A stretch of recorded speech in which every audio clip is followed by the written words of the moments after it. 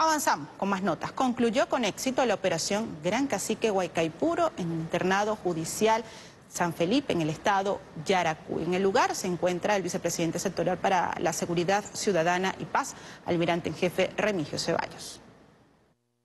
Pueblo de Venezuela, nos encontramos acá en Yaracuy, como lo dijimos tempranas horas, actuando para, eh, en el marco de la operación Gran Cacique, Huaycaipuro, Liberación, Yaracuy. Hemos logrado el control total de este internado judicial de Yaracuy. Ha sido un trabajo arduo de coordinación entre todos los órganos de seguridad ciudadana, la Guardia Nacional Bolivariana, la Policía Nacional Bolivariana, Cuerpo de Investigaciones Científicas, Penales y Criminalísticas, el DIESIN, el SEBIN, y por supuesto también un trabajo articulado con la gobernación de Yaracuy, con la persona que nos acompaña, el señor gobernador Julio León Heredia. Hemos estado en contacto permanente, constante y directo, cumpliendo instrucciones precisas de nuestro presidente Nicolás Maduro Moro en esta gran política de protección al pueblo, una gran política de seguridad ciudadana, la gran misión Cuadrantes de Paz, específicamente el reimpulso al sistema penitenciario, pero el combate directo contra las bandas criminales a nivel nacional.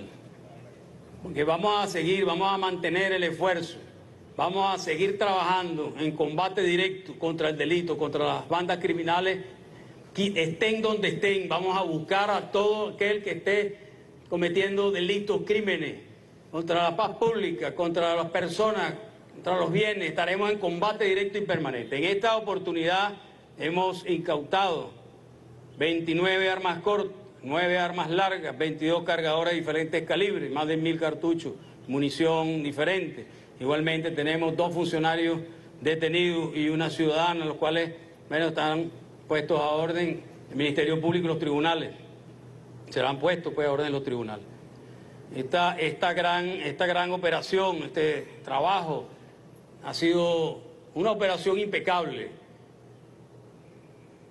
una operación exitosa, de mucha coordinación, de mucha planificación, varios meses de planificación a nivel nacional. Ha sido una jornada amplia, que ha durado 50 días. y posteriormente haremos un balance general eh, de todos los elementos que nosotros hemos encontrado y cómo hemos venido avanzando. Hemos desmantelado todas las estructuras criminales que desde estas cárceles que hemos intervenido totalmente. Tocorón, Tocuyito, Puente Ayala, La Pica, Vista Hermosa, Trujillo y hoy Yaracuy están desmanteladas las estructuras criminales. Ellos, por supuesto, como se ha conocido, trataban de cometer delitos y ampliar su accionar delictivo a diferentes partes del país, expandiéndose. Pues nosotros hemos hecho un corte directo. El Estado venezolano, el gobierno bolivariano, dirigido por nuestro presidente Nicolás Maduro Moro, avanzando para mantener el legado del comandante supremo Hugo Chávez, ese legado menos de, garantizar que los ciudadanos que están en, en, los centros penitenciarios privados de libertad por el cometimiento de delitos contra personas, contra bienes, etcétera, bueno, una vez que paguen su pena, bueno, vuelvan a reincorporarse a la sociedad.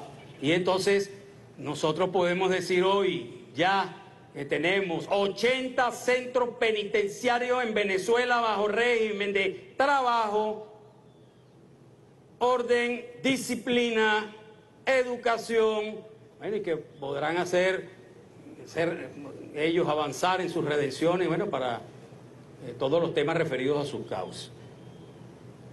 Nosotros, esos, los mal llamados pranes, todos están a orden de la justicia, todos. Los mal llamados trenes, que si Aragua, que si Los Llanos, eso está desmantelado. quieren endosarle a Venezuela estructuras criminales que aquí no existen. Nosotros vamos a tener toda la cooperación internacional para capturar, ayudar a capturar cualquier venezolano que delinca fuera del país. Aquí hay también extranjeros que han delinquido y están detenidos.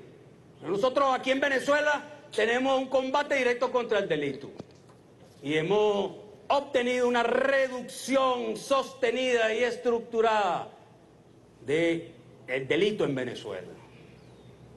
Y venimos trabajando con mucha ética, respeto profundo a los derechos humanos, apalancado en la Constitución, en la fuerza que nos da la Constitución, pero también con mucha, con mucha organización, con mucho método científico y con mucha acción operacional policial, con el apoyo de nuestra gloriosa Guardia Nacional Bolivariana, que ha realizado excelentes despliegues junto a nuestra Policía Nacional Bolivariana y a todos los cuerpos,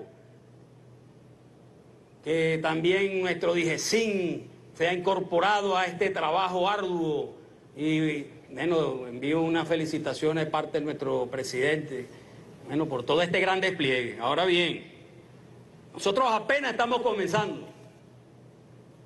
Hemos cumplido una fase pero apenas estamos comenzando. Pasamos a una nueva fase en esta gran campaña, Gran Cacique Guaycaipuro, bueno, para el reimpulso del sistema penitenciario y para la profundización del combate contra las bandas criminales. Estén donde estén, vamos en combate directo.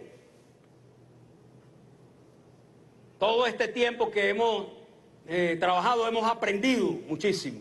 Hemos mejorado nuestros protocolos de actuación y lo seguiremos mejorando. Hemos fortalecido el trabajo interoperativo entre todos los cuerpos junto a la Fuerza Armada. Unión cívico-militar policial. Gran, gran legado de nuestro comandante supremo Hugo Chávez Frías.